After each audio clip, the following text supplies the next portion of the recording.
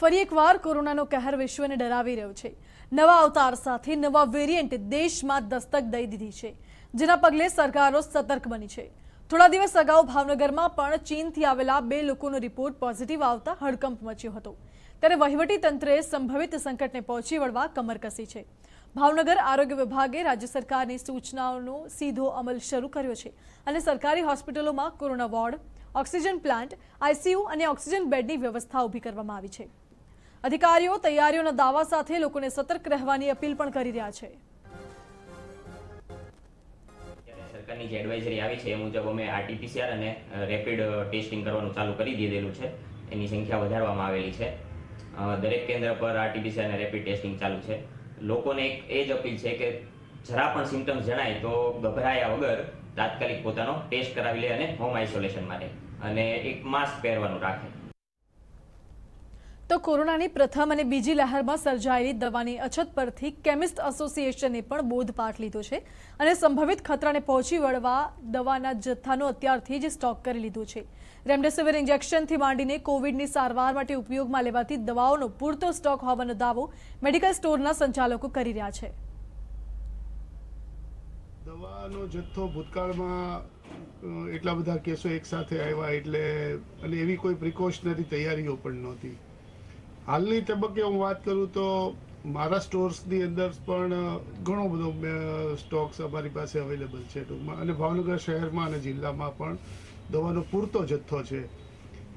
લોકોને પણ એવી મારી વિનંતી છે કે પણ ખોટો સંગ્રહ ન કરવો ઘરમાં દવાનો. એક તરફ સરકાર સતર્ક છે, તો બીજી તરફ સ્થાનિક વહીવટી તંત્ર પણ સજ્જ બન્યું છે. ભાવનગરની સરકારી અને ખાનગી હોસ્પિટલમાં પૂરતા બેડ અને આરોગ્યલક્ષી વ્યવસ્થાઓ હોવાનો દાવો મ્યુનિસિપલ કમિશનરે કર્યો હતો અને હાલ સ્થિતિ નિયંત્રણમાં હોવાનું જણાવ્યું હતું. કોરોનાને લઈને કેન્દ્ર સરકાર અને રાજ્ય સરકાર દ્વારા સાવચેતીના પગલાં લેવા માટે સૂચના અપાઈ ગઈ છે. ત્યારે ભાવનગરના કમિશનર અમારી સાથે જોડાયા છે. ભાવનગરની અંદર હાલમાં કોરોનાના બે કેસ બે દિવસ પહેલા જ એક ચાઇનાના વ્યક્તિ આવતા નોંધાયા છે.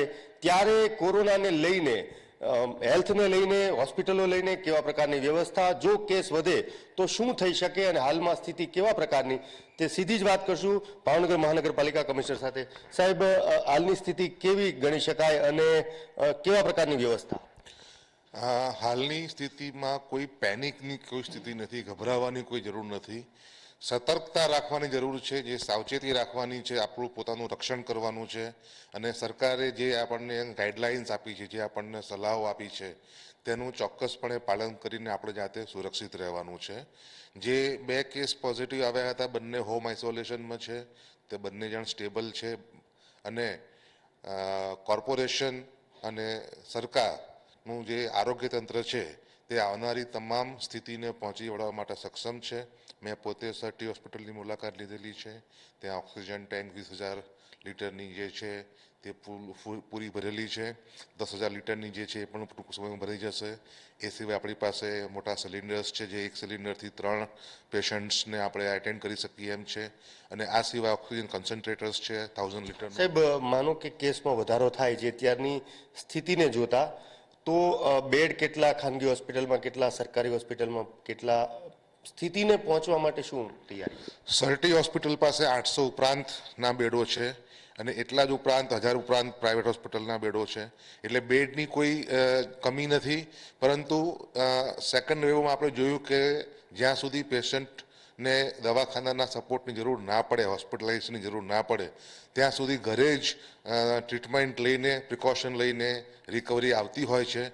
માટે એવી કોઈ જ જેને કહીને કે ગંભીર સ્થિતિ ઉપસ્થિત નહીં થાય તેવું અમારું ચોક્કસ પ્રમાણ ભાવનગર મહાનગરપાલિકાના કમિશનર એનવી ઉપાધ્યાય સાહેબ તેમનું સ્પષ્ટ કહેવું છે કે કોરોનાને લઈને તંત્રની તમામ પ્રકારની તૈયારી છે. રાજ્ય સરકારની સૂચના પ્રમાણે તમામ પ્રકારની હોસ્પિટલથી લઈ, ઓક્સિજનથી લઈ તમામ તૈયારીઓ પૂર્ણ થઈ ગઈ છે અને લોકોને ખાસ કરીને અપીલ છે કે જે કોરોનાની ગાઈડલાઈન છે તે ચુસ્તપણે પાળે પાળે અને કોરોના પોતાના પરિવારમાં કે પોતાને સ્પર્શ કરે એ પહેલાં સાવચેત રહે. અજીત ગઢવી ટીવી